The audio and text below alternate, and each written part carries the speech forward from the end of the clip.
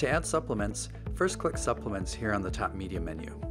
Now we can click the blue circle with a plus sign here on the right side of the screen. The file manager for your system will open and then you'll navigate to the supplements you want to upload. You can select a single supplement or more than one. I have three supplements to upload so I'm going to hold down my shift key and then click to select them all. These are PDF files, but you can also upload plain text TXT or rich text files RTF. Next, I need to indicate whether my supplement should be seen by agents only or whether it can be viewable by clients as well as anyone else in the public, in which case I would select all. A key factor here is that if you have any branding or contact information, either for yourself or any other third party, then it has to be marked agents only. If your supplement is free from branding and contact info, then you can mark it as viewable by all. After you make your selection, click the Add Supplement button. My supplements are all now here on the main supplement screen. Let's look at how we can manage them.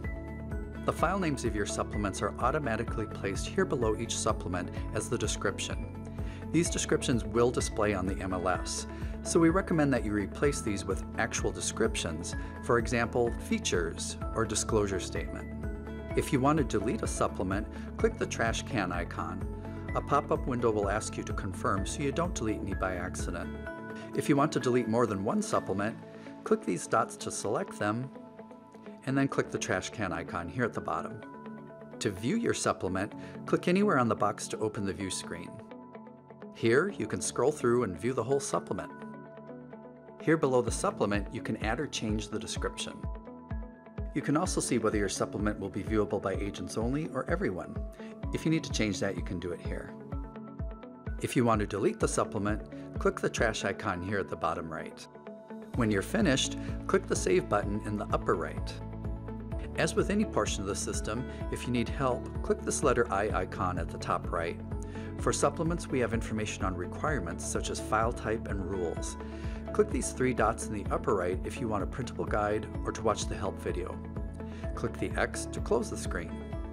When you're finished with your supplements, you can choose to move on to photos, virtual tours, open houses, or click the back arrow in the upper left to return to the main Add Edit screen.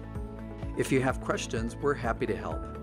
Here are the phone number and email address for our help desk.